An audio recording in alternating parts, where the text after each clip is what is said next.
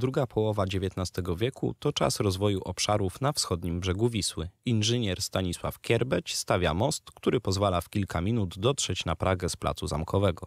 Kilkanaście lat później powstaje most kolejowy pod Cytadelą Warszawską.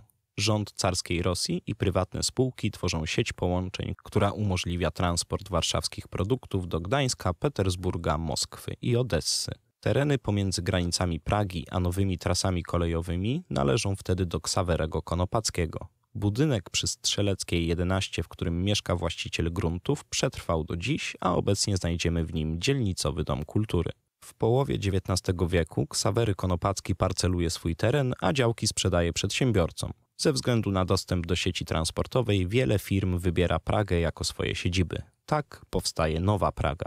10 lat po śmierci jej założyciela jedna z ulic otrzymuje nazwę Konopacka. Wysoki na 80 metrów komin stojący przy jednej z hal fabrycznych to charakterystyczny element krajobrazu, który zobaczymy na starych zdjęciach i pocztówkach z ulicy Szwedzkiej. Komin należy do fabryki chemicznej, która na początku XX wieku produkuje m.in. smary do maszyn, wosk i zaprawę do podłóg, wosk szewski i pastę do butów Stella. Po I wojnie światowej kompleks trafia w ręce niemieckiego koncernu Sicht. W głębi posesji powstają nowe budynki, a firma kupuje sąsiednie zakłady, m.in. fabrykę lamp braci Brünner. Angielski koncern Unilever zostaje współwłaścicielem firmy w latach 30.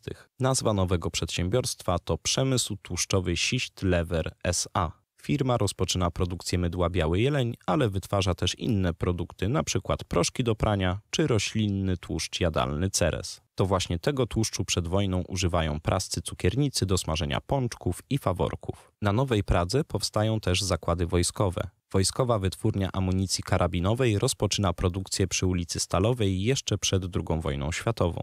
W zaledwie trzy lata powstają tutaj miliony sztuk amunicji do karabinu typu Mauser.